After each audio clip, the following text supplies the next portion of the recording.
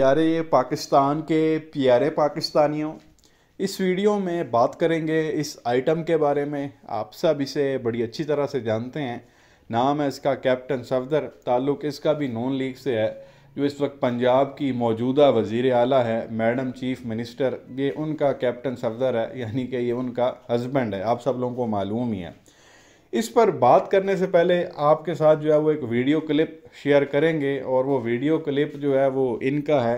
आप इन मोहतरमा को भी जानते हैं। Maryam Nawaz, madam chief minister, ये मोहतरमा गई हुई थी मरी, पूरे अपने जो है वो काफ़िले के साथ। पहले आप ये वीडियो क्लिप देख लें कि कितनी गाड़ियों का काफ़िला जो है वहाँ मरी पहुँचा, ये आप देखें, फिर आगे मज़ीद बात करते हैं।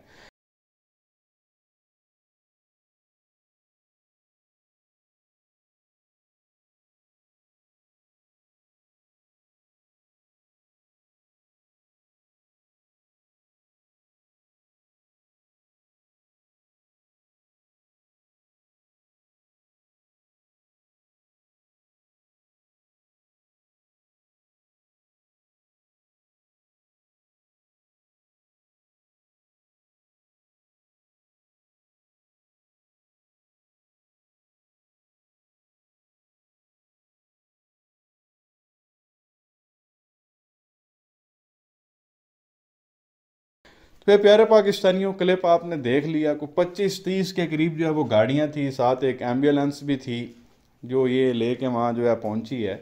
अब प्यारे पाकिस्तानियों, हम गरीब मुल्क है ये हमारा, पैसे हमारे पास हैं नहीं इवन तनख्वाहें देने के भी जो है वो पैसे नहीं हैं, और कर्ज़ा उतारने के लिए जो है, हमारा मुल्क जो है वो नए कर्ज़े लेता है। इवन वो जो कर्ज़े लेता है, उसका सूद उतारने के लिए भी जो है हम लोग कर्ज़े लेते हैं। इतने हम जो है वो कर्ज़ों में डूबे हुए हैं, महँगाई आपके सामने है और हमारे हुक्मरानों के हाल आप देख लें कि 25 25 30 30 गाड़ियों का जो है ये लोग काफ़िला लेके जाते हैं, जहाँ भी ये लोग जाते हैं। अब ये कोई थूक पे तो चलती नहीं है, बड़ी ये गाड़ियाँ हैं और इनकी एवरेज भी कोई नहीं होती। पेट्रोल की कीमत आपके सामने है तो आप अंदाज़ा करें कि जब ये इस तरह से गाड़ियाँ लेके निकलते हैं तो कितने लाखों रुपये का जो है ये पेट्रोल, लाखों का ये काम करोड़ों पर पहुँचाते होंगे। तो ये गरीब मुल्क की मतलब ये मलका बनी हुई है, बंदे को खुद सोचना चाहिए। और इनके जो नीचे हैं, वो इनके दरबारी, वो टीवी पे आके कह रहे होते हैं, जी, मरियम पाँच सौ वाला सूट पहनती है छः सौ वाला सूट पहनती है। लेकिन जब घर से निकलती है तो एक ही दिन में लाखों रुपए का जो है, वो पेट्रोल, डीजल फूक देती है। ये कौन सा तरीका इन लोगों का? तो एक बहरहाल, एक ये चीज़ आपके साथ जो है, वो शेयर करनी थी ये हमारे हुक्मरानों के हाल हैं।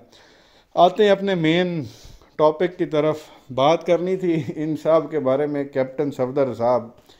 मैं ये समझता हूँ, बड़ी बेशर्मी का मुजाहरा किया इन्होंने, एक स्टेटमेंट इन्होंने ए आर वाई न्यूज़ पे आके दे दी, एक इंटरव्यू आप कह लें। इंटरव्यू के दौरान, जो इसको देनी नहीं चाहिए थी, अपना ये लोग मज़ाक जो है वो खुद उड़वाते हैं। पता नहीं, इतनी ये जहनी पस्ती का शिकार है इनको अकल ही नहीं है कि मैं ये बात करूँगा तो इसका आगे से रिएक्शन क्या आएगा? बेसिकली ये तंजीम साजी के बारे में जो वो गुफ्तु फरमा रहे थे और अपना भी इन्होंने बता दिया कि जी मैंने ये ये कारनामा किया था। तो ये क्लिप आप सुन लें, ये सफदर साहब क्या कह रहे हैं, फिर आगे मजीद बात करते हैं। हर की ज़िंदगी में कमी पेशी होती है। हमारे अंदर भी हैं, कोई तंजीम साजी में फंस गए, कोई नंगे पकड़े गए, कोई नंगे होते होते पकड़े गए तो उस जाती मामला अगर हम उसके जाती मामले पे अटैक करेंगे तो फिर अपनों को कहाँ लेके जाएँगे? गांध हर तरफ़ है भाई साहब। मुकाबला सियासत का सियासत देना चाहिए। अगर वो बंदा उस पर उंगली उठा सकता है जिसका अपना किरदार जो है वो इतना साफ़ हो वो उसको कहे कि हम किस मुँह से कहें? हम नहीं तो फिर जब मैं बात करता हूँ तो मुझे लोग पैगाम देते हैं भाई जी वो उसके बारे में की ख्याल है? फिर आँखें शर्म से जुट जाती हैं। मैं कि यार वो जरा तंजीम साजी ऊपर ऊपर से हो गई थी तो ये प्यारे पाकिस्तानियों, आपने इस कैप्टन सफदर को सुना।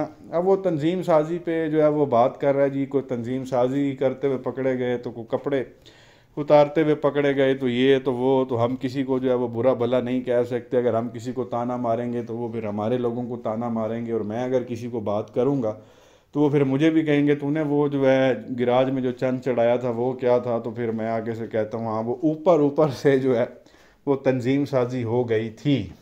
ये बंदा, ये स्टेटमेंट हालाँकि जो भी media use social media use करता है, सबको ये गिराज और इन सारे मामला का पता है। तो फिर इस तरह की बात करके अगले बंदे को मौका देना, भाई, ये देख लो। तो ये हकीकत है, ये खुद मान रहा है कि मैंने ऊपर ऊपर से जो है वो तंजीम साजी की हुई है। वो ठीक है, तू उस वक्त जवान था, तेरे से गलती हो गई, तुझे ये चीज़ मीडिया पे आके बताने की क्या ज़रूरत अपनी इज़्ज़त खुद क्यों तू जो है वो उछाल रहा है?